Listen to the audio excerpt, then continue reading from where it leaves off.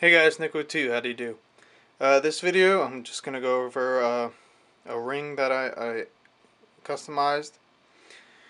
It is a titanium ring.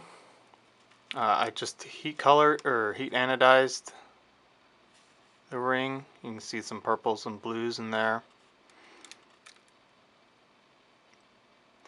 I'm going to do some more customization tomorrow. Uh, I'm going to get out the Dremel and do a little like rock pattern or you know Anzo-ish pattern on it.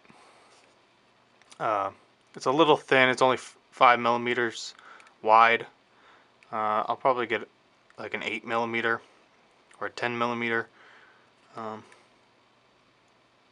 ring in the future, just to give a little more uh, width. This is a little thin. Um,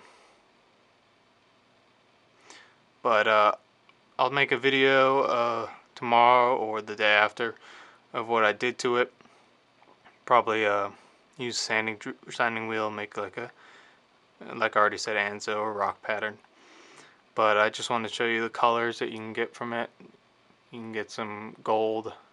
You can't really see that much gold in it, but blues and purples are nice. It is uh, titanium.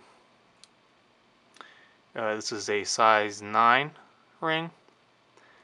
Uh, so that's about it. I'll show it to you uh, when I do some more work on it. Remember, keep your eye sharp, your mind sharper. I'm Nick Woo 2. Thanks for watching.